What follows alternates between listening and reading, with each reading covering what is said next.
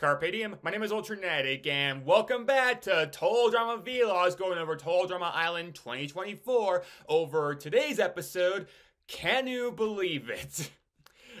I I swear, these titles keep going like back and forth as far like as far as the like the bad pun titles, as far as like, oh, I really don't like that title too. Uh, so bad it's really good. This is definitely in the so bad it's good kind of category. Like, what? Like the more you make these titles like dad jokes, they're they're majorly hit and miss in my opinion. But in this care, in, in this case, I would say it's a pretty decent hit for an episode title. Uh, quite fittingly for an episode that I'd say is a major hit in of itself because uh, I like this one. I like this one quite a bit actually. Uh, like not everything about it necessarily, but overall, I look back at this one and I'm like, uh, I really do enjoy it. Uh, in fact, I'm gonna give you a little scoop about something. Some of you may have actually caught this, but if you didn't, I'll just tell you. I initially made a Total Drama vlog of this episode last week with preparations to actually premiere on that same day. In fact, I was filming it in that same green sweater that I had on for the other vlog I did last week. And then I checked the schedule and realized, oh, Canada's only showing that one episode and not this one. I was like, okay, I'll change that because again, for anybody who are is watching this episode for the first time, I don't I don't want to give stuff away before they've seen it, so I figured it'd only be fair to wait on that one. Uh, but hey, it is premiering today, so um, I can finally get this out there. So, uh, yeah, let's talk about Canoe Believe It? I do kind of laugh at that. Uh, so it opens up again with Caleb working out. You see Z come up and talk to him about how he's been hanging out with Priya a lot, to which Caleb says, I'd argue kind of stupidly because why does everybody do this? Uh, that he's trying to build an alliance with Priya. What is it with every player advertising? You can't keep your alliances hush hush for real. Like, that's not something I'm mad about. If anything, I love that kind of messy old school gameplay where it's like, nah, our alliances are like straight on the table, y'all can see it. I don't know. It, it, it does make for like a more interesting idea for a downfall, in my opinion. But yeah, he's building. He, he tells Z he's building an alliance with her, not necessarily a relationship, which distresses Z a little bit, given he knows about Priya's crush on him. Speaking of, Priya asks Z if he told Caleb anything about about her crush on him, and then goes back and forth pretty humorously about asking for details and then no details and yada yada yada. I find the back and forth pretty uh, hilarious, and Z's like, "Oh, I don't want to be a part of this." I don't blame you 100% on that one, Z. I like Caleb. I like Priya. I like them together too. It's just one of those things where it's like, this does strike me as a very complicated situation, but that's part of what I like about it. Because compared to other showmances on this show who get in the conflict for very contrived reasons, I could see conflict coming from very genuine, well written reasons in this case. And, but not in any way it feels lazy. It feels like it's all been properly set up over time. So uh, that's a good sign. Uh, we then get to the dining hall where teams have been dissolved at the final 11, which is a pretty big moment. Again, I thought was pretty big in the last season when the tribes were take were uh, divided at 10, but now it's at 11. So uh, yeah, it's pretty cool. Uh, Bowie is of course worried because he's worried about not having the numbers now to keep himself safe and to get Julia or MK out. Uh, it's also revealed that an immunity idol, which is basically a golden bobblehead of Chris, has been hidden in the woods somewhere that plays exactly like a survivor hidden immunity idol. So, uh, well, I don't know about survivor hidden immunity idol or more the uh, super idol, if you will, but either way, it'll keep him safe. Uh, the challenge is going to involve canoeing, which means the players will have to pair up for this challenge. But Chris but MK knows is that this is an odd number, so they really can't all pair up. So Chris says, okay, everybody pair up except MK. And I'm like, yeah, when you really think about it, how much you want to bet they were planning on merging at 10 initially, but then after the end of the last episode, he changed that up to 11. Specifically for what comes in on this one because the teams do pair up as you'd expect. You got mostly the showmen is all pairing up. Uh, Rajbo, Rip Axel, Praleb, Uh, then you got Damien and Z, who I guess are kind of buddies, which just leaves Julia and Wayne, which he's not happy about. To which I say, why don't you just pair up with MK then? Like, screw Chris's rules, do whatever you want. What's he gonna do? Penalize you? I mean, he should, because you were on the cheating too thing. I'm like, why is all this game blamed on just MK? It's not specifically just her who did it. She might have done a lot of it, but she wasn't the only one who did it. Julia's implicated, Bowie's kind of implicated, uh, Ripper's kind of implicated. Come on, do something about that. But we'll get on that to come. Um, Chris, of course, lets MK know that uh, he knows about MK's cheating. Yeah, took you long enough to notice, dude. and that her going solo is her punishment. Also, he tells everybody about the cheating. Now, I'll be fair.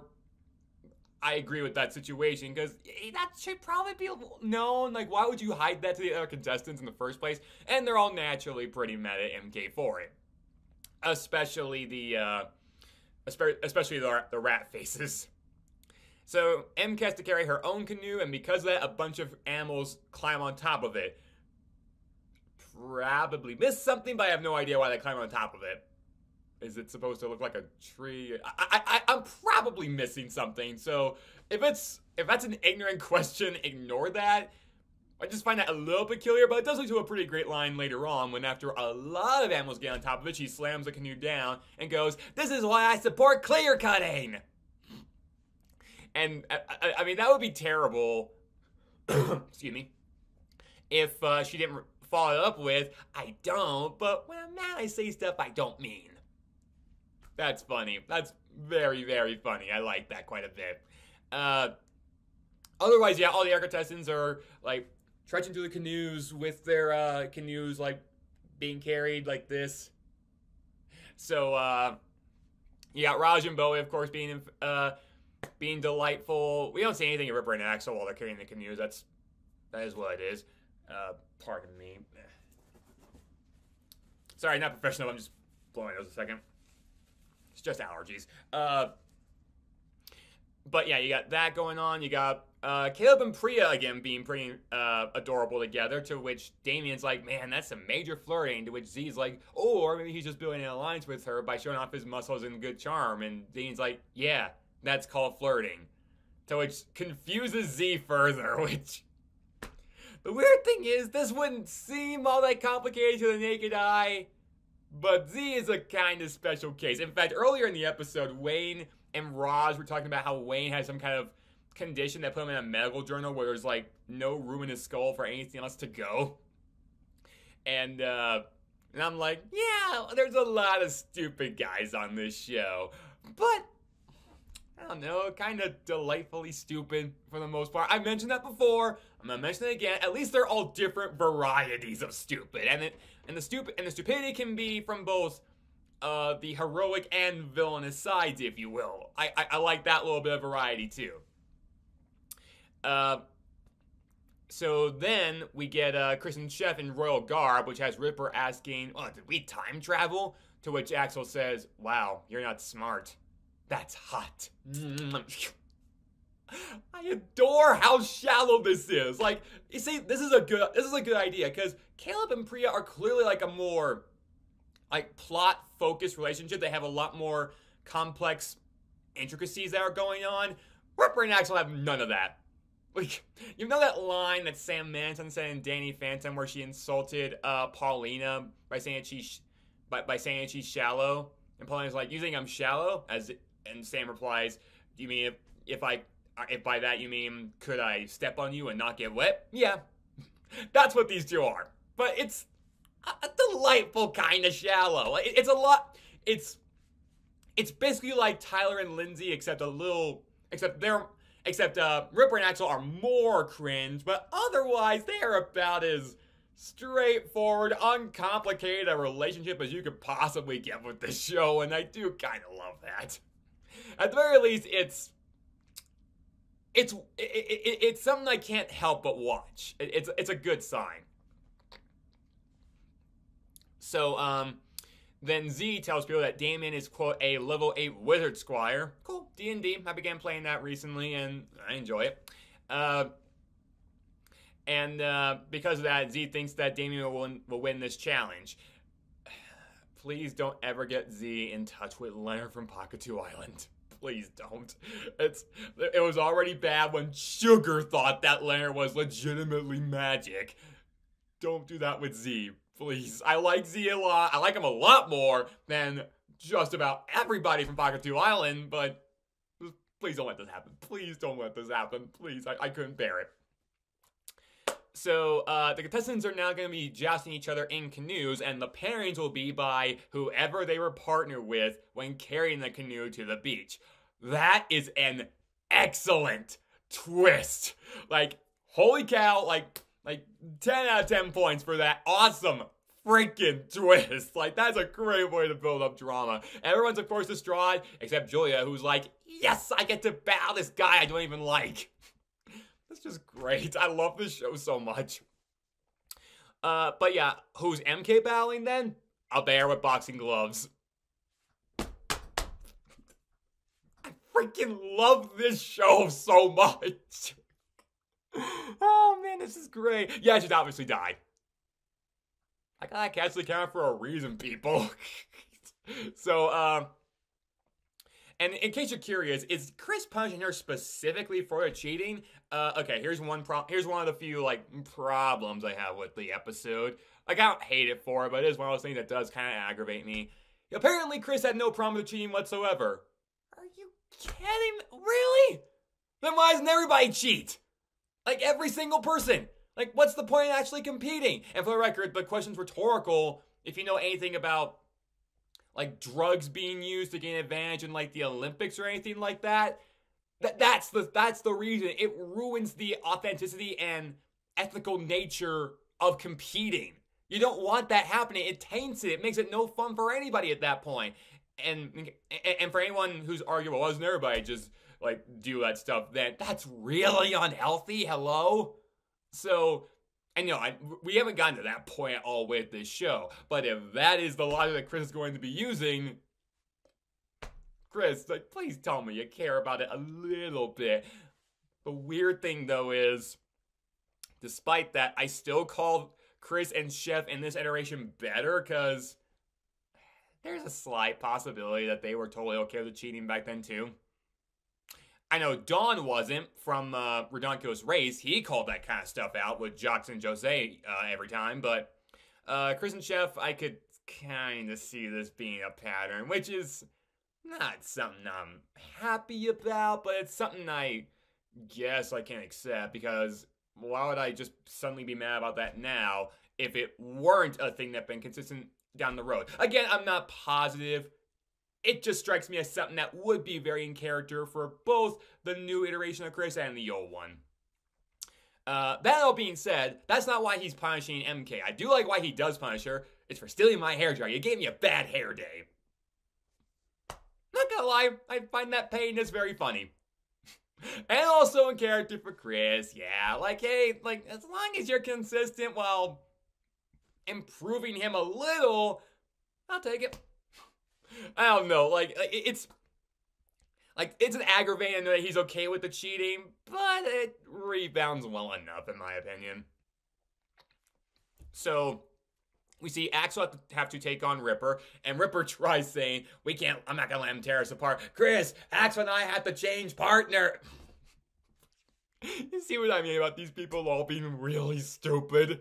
What happens next? Axel takes him out like without hesitation. That's just great. To which Ripper's like, I can't believe you did that to me. You know what happens to couples when they when they fight? They make up. the shallowness is. um, we see Praleb battle each other with a lot of very witty, likable banter. They're both kind of going easy on each other. Priya because she doesn't want to damage Caleb's perfect face and body. He's basically more. He's basically if you somehow fused Justin and DJ together in the best ways possible for the record. Like, I like DJ. I have issues with Justin. Caleb is like them both, but the absolute best quality you can get out of both of them. You could argue that means, well, isn't he kind of like uh, Alejandro then? Eh, he's not villainous villainous like Alejandro was, so I don't know. And yeah, Justin was a villain. A bad villain.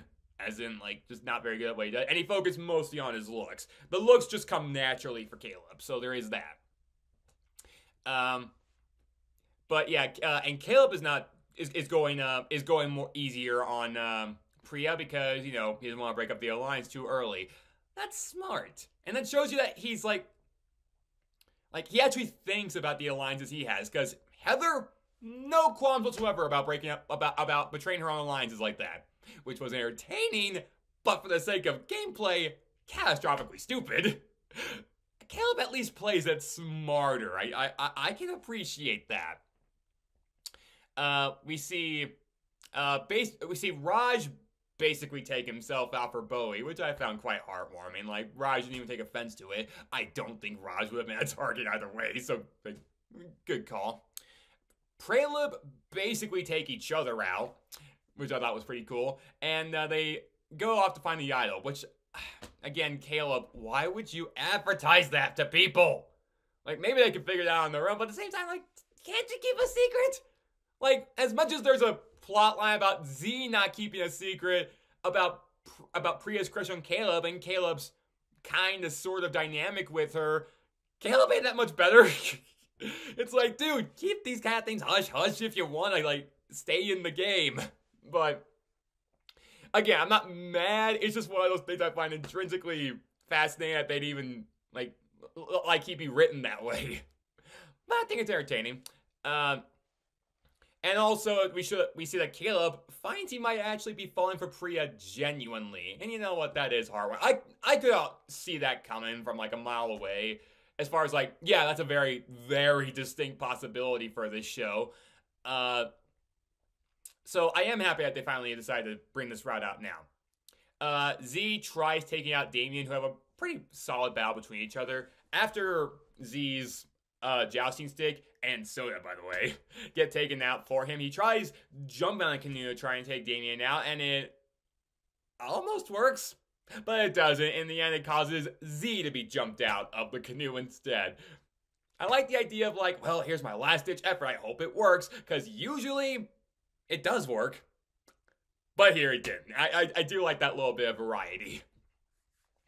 Uh, we see Praleb uh, bond in the forest over uh, having parents that are, quote, a little much. okay, we all know the deal with Priya's parents. How little much are Caleb's? Uh, they told him he couldn't do any fun stuff until he did his homework because they want him to get into MIT. I could see that being overbearing. I mean, a huge, like, overbearing parents kind of thing. Priya's parents gave birth to her while they were on a cliff. And they've been training her for reality shows since freaking birth at this point, and they don't want her to be a doctor, and they put away her million dollar savings until she's 40. I'm sorry, Priya's parents are obviously a little worse than Caleb's. At least Caleb's parents, like, maybe they didn't let him have a lot of fun, but they weren't actively making his life, like, I don't, I don't want to say Priya's parents are abusive because that's probably not fair. I'm sure they loved her, but imagine any other parent doing this for their kid. I mean, yes, there are reality show contestants who have kids who they kind of sort of train to become players in the show in some in some cases, but I'm sure they let them be like regular kids. Like that's all fine and good. Priya's parents they, they bring it to the cartoony extent about how like how overboard they went with this kind of training. So that's more what I'm getting at here. Like when I say abusive, please take that with a grain of salt. I don't actually know what their parenting style was like. Just based on what we heard, I would call their parenting styles highly questionable. Highly. But at the very least, they bond over something like that, which is again, is pretty cool. Um, Julia tricks Wayne into a loss, and MK takes herself out of the competition because rather than die, she just will sacrifice immunity. Which I'll be fair is pretty funny. The bear gets dismissed by Chris, and the bear literally boos him. I love this show. I really, really love this show. so now that means the final four are competing, and that it and it's gonna be Bowie versus Axel, and then Julia versus Damien uh, Bowie takes out Axel by tricking her into saying like, "Oh hey, is that is that a Ripper giving mouth to mouth to a raccoon? What?" And first takes her out. I can't blame Axel for falling for that one. Not just because she actually does have feelings for Ripper, which is another reason why I kind of like this show. Man, it's not just shallow; they actually do like each other. That's a good sign. But also because that's sadly something character for Ripper. In fact, Ripper doesn't even act like, oh, she really thought I'd do that now. Like, yeah, that's not all he says. In fact, he's flattered that, he, that she fell for that because, like, I guess her one weakness is her love for me. Why am I not vomiting at this? I should be, obviously, but I love watching. I have no idea. Maybe, maybe, uh, maybe I'm just. Maybe I have some kind of problem. I have no idea. Not a problem, problem. It's like you just enjoy whatever you want to. But I do question why I enjoy it because it, by all outward appearances, I shouldn't. But I do, and I, I, I, I accept that. It's just, it's just good entertainment. That's all I got. Uh, we then see Damien get lucky in how he takes out Julia. I mean, he, I mean, he tries, but the fact that he beats Julia, even I'm like, really? Uh, okay, like good for Damien. Like I can't say saw it coming, but cool. Uh, and then we get uh, and after by the way, after Axel gets taken out by uh, Bowie, she gets targeted by a shark in the water because of course a shark gets put in there somewhere. And you know that thing about how Courtney literally battled sharks, and then the writers forgot that, and she became scared of them again. Don't care for that. Uh, Axel doesn't battle the sharks. She just points at them and says, Don't even think about it. And it gets intimidated away.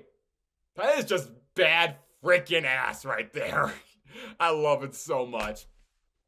So we get to the final stage of Bowie versus Damien, and uh, yeah, they're gonna do actual jousting on this beach with horses on water skis. This is what you can get from an anime reality show, folks. It's like a Jeff Foxworthy joke. They'll probably have to cancel polo after the first two or three horses drown. That's funny.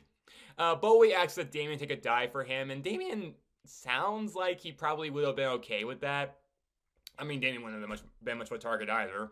But he did want to get one good shot and so he can go out like an honorable knight. I do like that he does get a little in character with his D&D side for what it is. And uh, say he goes for at least one good shot with Bowie, and that one good shot actually earns him immunity. Bowie gets taken out. Everyone's surprised. Me too. Even I'm like, Damien wins first immunity. I mean, good for him. Like, I'm not opposed to that by any means. I like Damien, but who saw this coming? Because I didn't. I'm sure a lot of other people didn't either, but like I said, good for him. I, I do like being surprised every once in a while. Ironically, before Bowie gets taken out, Bowie says, I want the editors to give me the slow mo treatment that my uh, victory deserves. Yeah, that reads exactly the same as when Alejandro at the end of World Tour says, I demand to get what's coming to me. because, yeah, he gets a slow treatment. He gets the slow mo treatment when he gets taken out like that. So we get to the elimination where Bowie, MK, and Praleb were targeted. MK for the cheating theme, Bowie for being a big threat, and Praleb for having a good dynamic and for going off and searching for the idol, which Chef then says, which neither of you found. I don't think production's supposed to reveal that to other contestants, folks. Like, yeah, Praleb know where they found it or not. Y'all do, the rest shouldn't. That's not fair. But whatever. Uh, Bowie gets taken out because uh, apparently MK Julia pinned the whole cheating scandal on him. Which, on one hand, given his track record, is believable. But on the other hand, why didn't Bowie say something? Or Raj, or Wayne for that matter. Like, they would have vouched for him. Like, I know he was implicated, but they I'm pretty sure they are aware that it wasn't Bowie's idea. It was MK and Julia's. Which again, why is it all being put on MK in the first place that she did it? I don't know. But they have a heartfelt goodbye and whatnot. Bowie goes out in style. We get a couple more bad puns from Chris. The bad puns in certain episodes would probably be something I dislike, but because a bear comes in right afterwards and boos Chris for them, makes me like the episode a lot more. So, uh, yeah, that was Canoe Believe It? By all appearances, there's a lot I shouldn't like about it, and yet I kind of love it. Just all around, it's a very highly entertaining episode with a with great ideas for twists, great idea for karma, great chemistry between the contestants. Yeah, I'm gonna stand by. I think it's mostly because both Chase and Emma, the two characters who I was having the most problems with, especially from the last season, are out. Like, because they're not in here, we mostly get a bunch of good characters, or at least characters with potential, shining in this season. And that is so refreshing, you have no idea, at least for me. So, uh, yep, highly recommend. Uh, that was Canoe Believe It from Total Drama Island 2024, and I can't wait to see you on the next vlog. Take care.